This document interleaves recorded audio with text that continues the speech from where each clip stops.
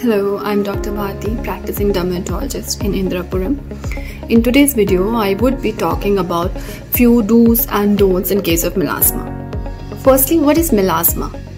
Melasma, also known as mask of pregnancy, is a condition that presents with brown to dark brown to tan colored patches over the cheeks, bridge of the nose, forehead, and sometimes even on upper lips.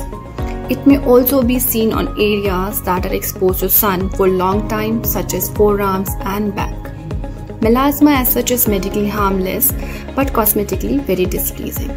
So coming to the list of do's, first and very important thing is application of sunscreen religiously on daily basis even when indoors even on a cloudy day.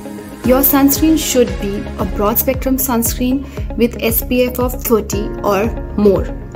You should apply your sunscreen 15 to 20 minutes prior to stepping out in sun and reapply it every 2 to 3 hours when out in sun. We also advocate using wide brimmed hats, goggles and umbrellas with UV protection. Secondly, your skincare routine should be very gentle and consistent. Consistency is the key to see any visible result because it takes 3 to 6 months.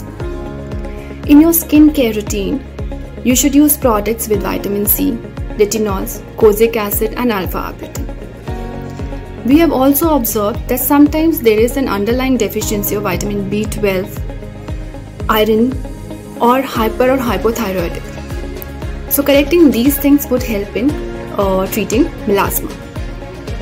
Lastly, visit a board certified dermatologist for a safe medium depth chemical peel and laser options for the treatment. Coming to the list of don'ts, do not apply over the counter steroid based skin lightening creams.